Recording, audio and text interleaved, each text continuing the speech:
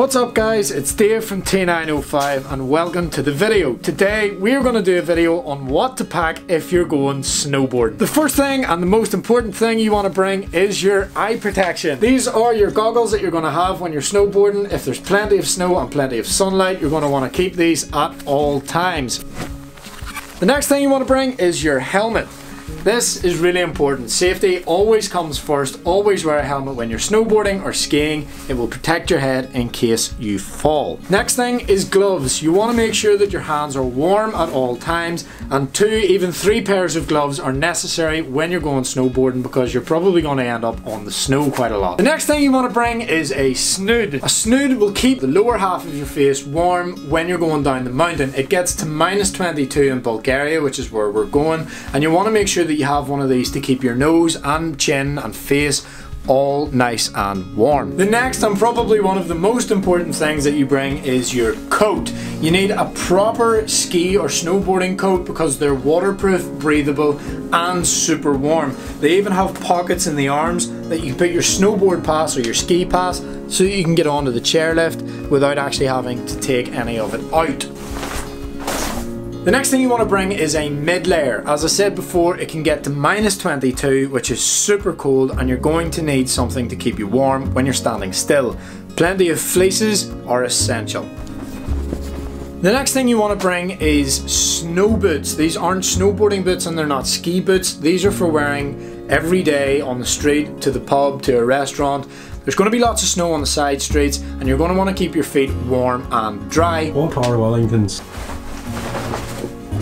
The next thing you want to bring is salopettes. They're basically lined, thick, warm and waterproof trousers that are flared at the bottom so that you can get your snowboarding and ski boots around them. These are essential in case you fall, which probably will happen, and they stop you from getting wet. Oh my god, literally a thousand degrees.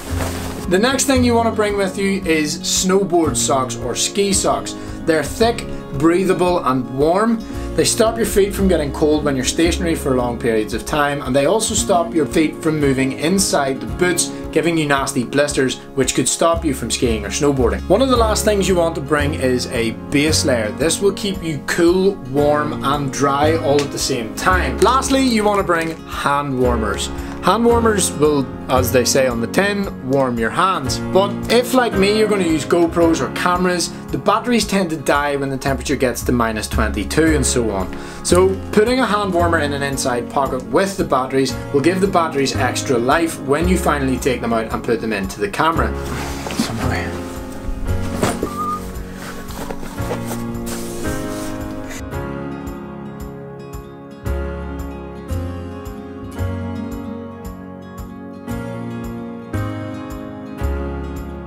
So there's our guys, that's what you need to bring when you're going snowboarding or skiing. That's how you pack it efficiently and you even have enough room to put in your ukulele.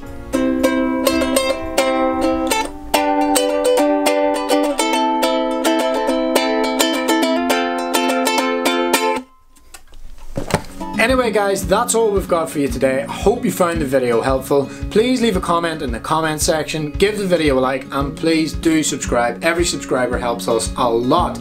You can also find us on Instagram, Facebook and Twitter. Head over there, T905 Adventures. You can find us, give us a like, give us a tweet, ask us anything you want.